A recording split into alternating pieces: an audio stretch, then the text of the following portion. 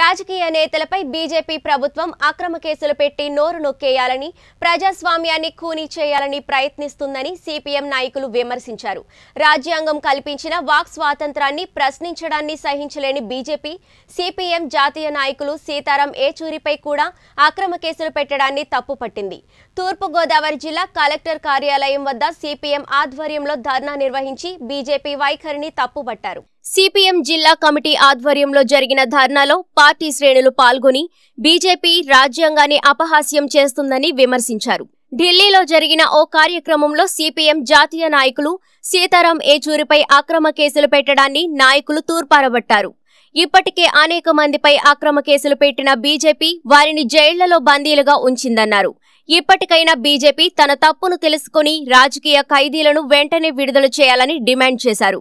ఈ కార్యక్రమంలో సిపిఎం జిల్లా కార్యదర్శి కెఎస్ శ్రీనివాస్ రైతు సంఘం నాయకులు నాగేశ్వరరావు సిపిఎం నాయకులు తదితరులు పాల్గొన్నారు.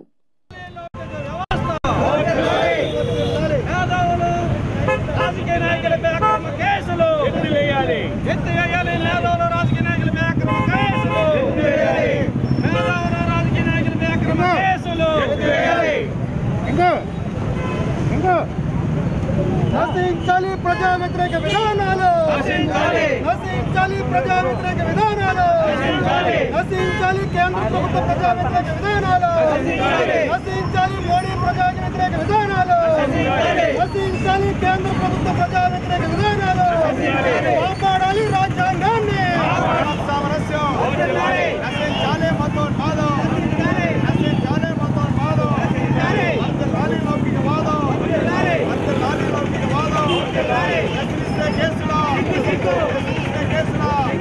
ఈరోజు ప్రజాస్వామ్యాన్ని కూనీ చేసే పద్ధతుల్లో భారత రాజ్యాంగం కల్పించినటువంటి ప్రశ్నించే హక్కుని కాలరాసే పద్ధతుల్లో ఈరోజు ఢిల్లీలో జరిగినటువంటి ఉద్యమంలో సీతారాం యేచూరి గారి మీద అక్రమ కేసులు ప్రభుత్వం పెట్టింది. ఈ కేసుల్ని వెనక తీసుకోవాలని చెప్పి మేము డిమాండ్ చేస్తూ ఉన్నాం. ఎందుకనంటే భారత రాజ్యాంగం కల్పించినటువంటి హక్కు ప్రజాస్వామ్యంలో స్వేచ్ఛగా మాట్లాడే హక్కు వాక్ స్వాతంత్రం అటువంటి అలాగే ప్రశ్నించడం అనేది. కాబట్టి ప్రశ్నించడాన్ని కూడా ప్రభుత్వాలు జీర్ణించుకోలేకపోతూ ఉన్నాయి. అందుకని మేము కోరుతూ ఉన్నాం ప్రజాస్వామ్యం అంటే ప్రశ్నించడం అనేది.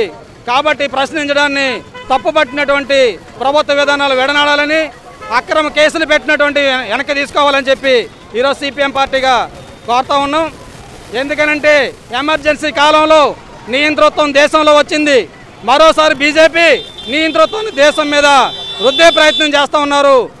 ఇటువంటి నియంతృత్వానికి వ్యతిరేకంగా సీతారాం యేచూరి జేఎన్యు యూనివర్సిటీలో ప్రధానమంత్రితోనే డైరెక్ట్గా ఆ రోజు ఎమర్జెన్సీ కాలంలో మాట్లాడినటువంటి చరిత్ర కలిగి ఆ రోజు విద్యార్థి ఉద్యమంలోనే వెనక్కి వెళ్ళినటువంటి ఉద్యమ నాయకుడు ఆయన. అటువంటి సీతారాం యేచూరి మీద ఈరోజు అక్రమ కేసులు పెడితే భయపడతామని అనుకోవద్దు. ప్రజాస్వామ్యాన్ని రక్షించడం కోసం కమ్యూనిస్ట్ పార్టీ ముందుంటుంది.